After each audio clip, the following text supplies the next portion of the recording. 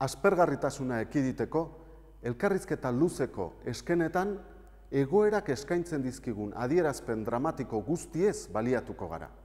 Nola ordea? Bi adibide nahiko izango dira hori dena azaltzeko.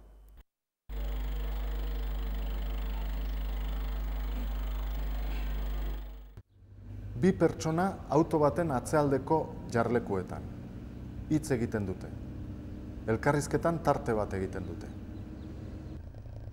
Autoak pantalla alde batetik bestera zeharkatzen du. Bi aktoreak auto barruan ikusten ditugu. Hitz egiten hasten dira berriro.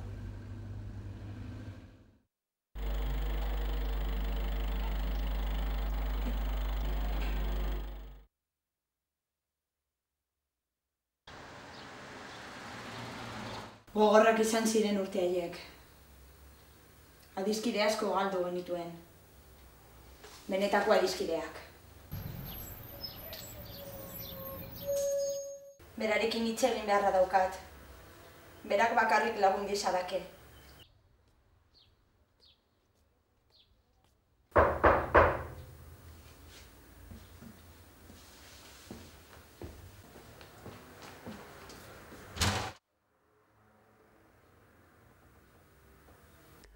Bi kasuetan tarteak ezabatu egin ditugu eta bakar bakarrik garrantzitsua dena erakutsi dugu.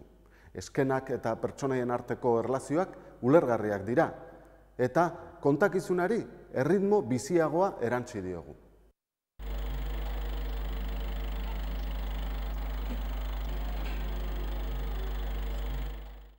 Filme askotan argudioak azalpenezko eskena bat eskatzen digu eta gehienetan eskena hori nahikoa luzea izaten da. Orduan kezkatu egiten gara eta pentsatzen dugu erritmoa geldotu egingo duela edo istorioa astunduko. Kezka horiek denak usatzeko badago soluzio bat eta soluzio hori denbora laburtzean datza.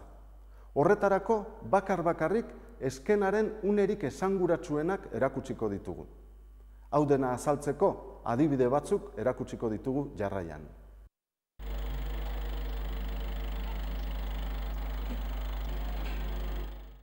Lehenengo adibide honetan, Alen Resnesek Hiroshima Mon Amour filmean erabili zuen egoeraren antzeko batez baliatuko gara. Eskena horretan, pertsonaia batek beste bati bizi izandako esperientzia bat kontatzen dio. Ikus dezagun. Infernu ura pasa ondoren, enuen uste berriro zutik jarriko nintzenik. Ezin izango ditut inoiz urte haiek ahaztu. Barkatu dudan arren ez dut inoiz ahaztuko. Berak atera ninduen zulotik. Batzuetan, arraroa da. Ez dut gorrotorik sentitzen. Bera da sostengatzen nauen adarra, eta bere atal bat naiz.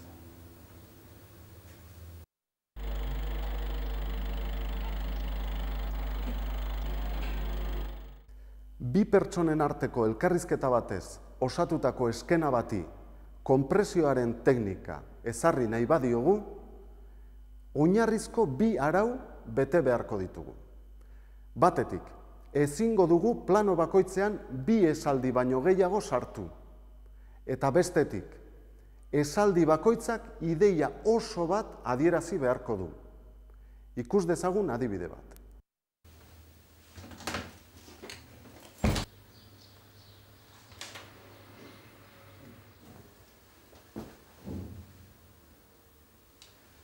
Berandutzen ari zait, astelen erarte naiz itzuliko.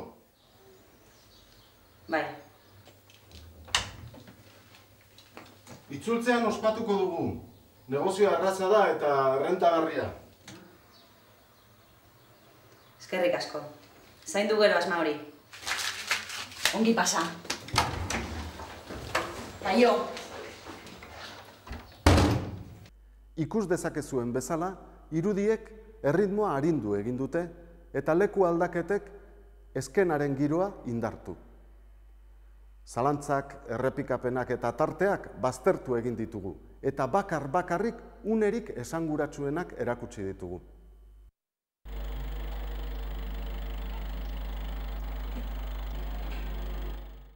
Denbora konprimitzeko edo laburtzeko beste modu bat ikusiko dugu jarraian. Horretarako, Akira Kurosawaren bizi filmeko pasarte bat antzestuko dugu. Pasarte honetan erakusten da pertsona batzuk udaleko bulegoetara doazela, baina ikus dezagun, ikus dezagun. Kaixo egun, egun Udaletik, izun bat bidali didat gaizki aparkatzeagatik eta nik ez daukat autorik. Ez da hemen, jun zaitezta alboko bulegora. Bada, erraturik zabiltzate. Urren bateko bulegora joan. Hori eskenateko bulegoan da. Hori hor, ondoko bulegoan egingo dizuete. Ez ez, hemen ez da, aurreko horretan da. Hori hango bulegora eraman behar duzu. Ez, erratu zaretela uste dut. Baina berro, zer da hau?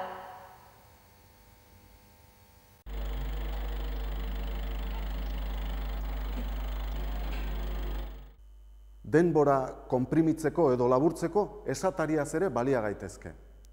Bere ahotsa entzuten dugun bitartean, irudietan soilik intentsitatea handiko uneak erakutsiko ditugu. Hauxe da John Pelanasen istorioa, lanetik irten eta tamalez loteria txartel bat topatu zuenarena. Txartela sariduna zen. Bere bizitza erabat aldatu zen betirako. Urrengo egunean, erasotua izan zen eta bere etxea lurrikara batek eraman zuen. Miseri gorria ezagutu zuen. Orain, lan egiten du, baina hobe berak kontatzen badigu zer moduz dabilen.